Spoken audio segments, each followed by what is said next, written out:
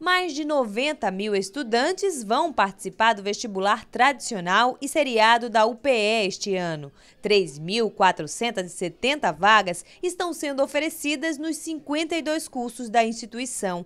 As concorrências de cada graduação foram divulgadas durante uma coletiva imprensa. Os números impressionam. Para o recém-criado curso de Direito no campus de Santo Amaro, a disputa entre os cotistas no vestibular tradicional chega a 154 pessoas por vaga e 99,63 para os demais candidatos. Nós só tínhamos uma universidade pública que ofertava direito, que é a Universidade Federal de Pernambuco.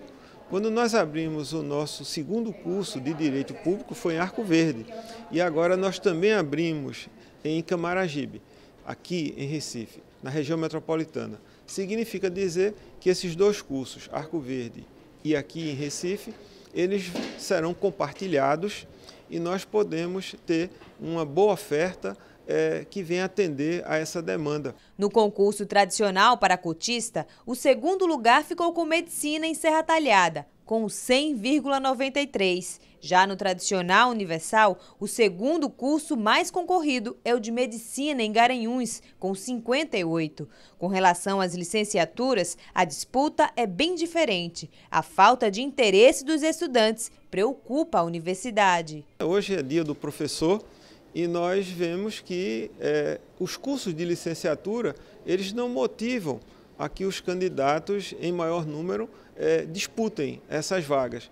Ou seja, é uma profissão que foi caindo no conceito e que precisa haver uma ação de Estado, uma ação é, pública, realmente, de políticas públicas é, da nação, para valorizar mais a carreira do professor, para que a gente possa ter, de fato, a educação básica de qualidade, porque é isso que vai mudar esse país.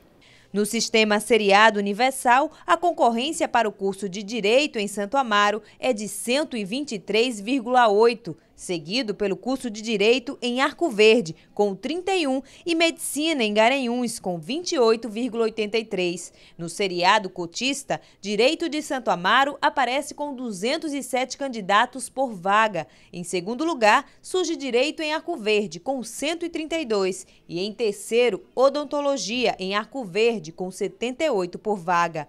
Este ano, o concurso será realizado nos dias 25, 26 e 27 de novembro. Os feras precisam ficar atentos às mudanças e novidades no vestibular. Neste ano, as duas principais mudanças que nós temos é o aumento de, do número de questões, 8 no vestibular e 10 no SSA 3, e o aumento de número do tempo de prova. Nós temos mais meia hora, tanto para o vestibular quanto para o SSA 3. Nós temos oito novos cursos, saímos de 44 cursos para 52 cursos na Universidade de Pernambuco.